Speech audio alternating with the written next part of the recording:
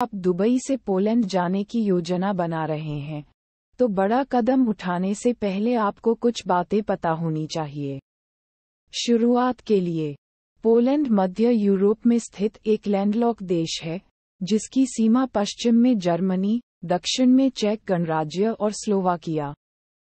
पूर्व में यूक्रेन और बेलारूस और उत्तर में लिथुएनिया और कलीनिनग्राद ओब्लास्ट से लगती है। पोलैंड की आधिकारिक भाषा पोलिश है, लेकिन बहुत से लोग अंग्रेज़ी, जर्मन या यूक्रेनी भी बोलते हैं।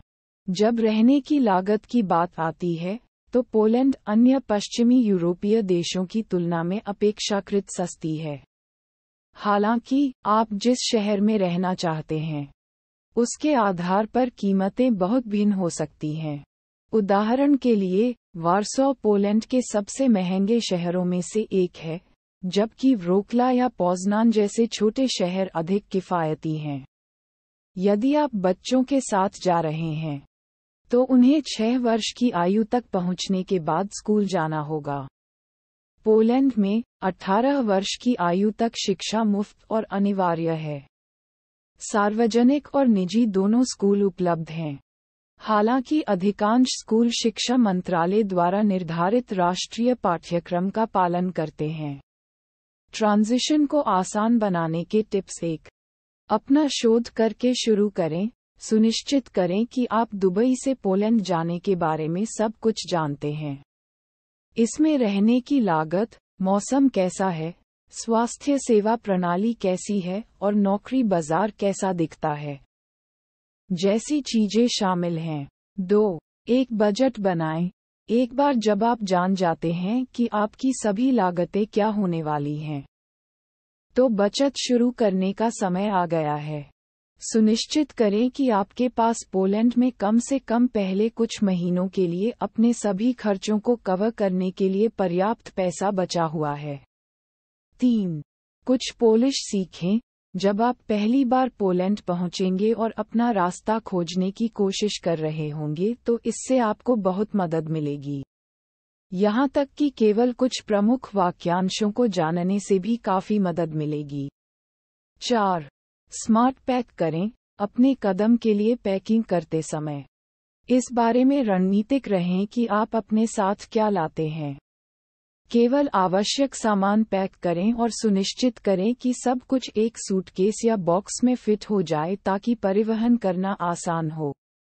पाँच, सकारात्मक रहें, किसी नए देश में जाना कठिन हो सकता है।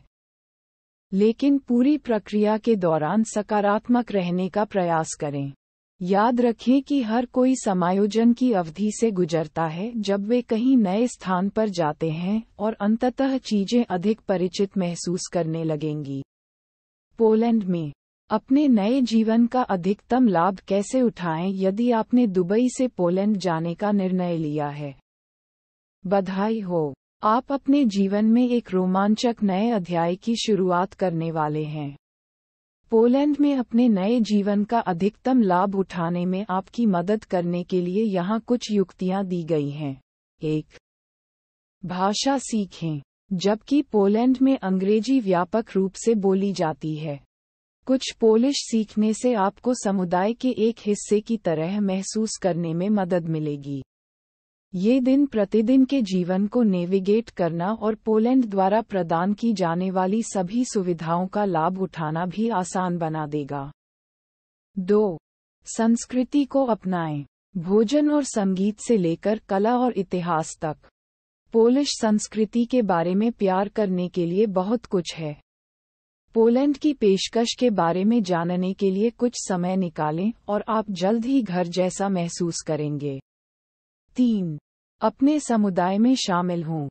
चाहे वह किसी खेल टीम में शामिल होना हो या किसी स्थानीय संगठन के लिए स्वेच्छा से काम करना हो।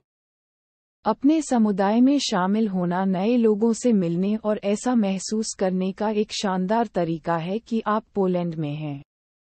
चार, देश भर में यात्रा करें। देखने और करने के लिए बहुत कुछ होने के कारण। आप पोलैंड में रहते हुए कभी भी बोर नहीं होंगे।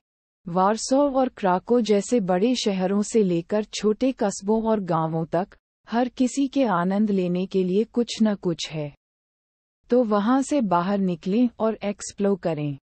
दुबई से पोलैंड जाना एक जटिल और भारी प्रक्रिया हो सकती है। एक सफल कदम सुनिश्चित करने के लिए दोनों देशों के कानूनों विनियमों और प्रक्रियाओं से खुद को परिचित करना महत्वपूर्ण है।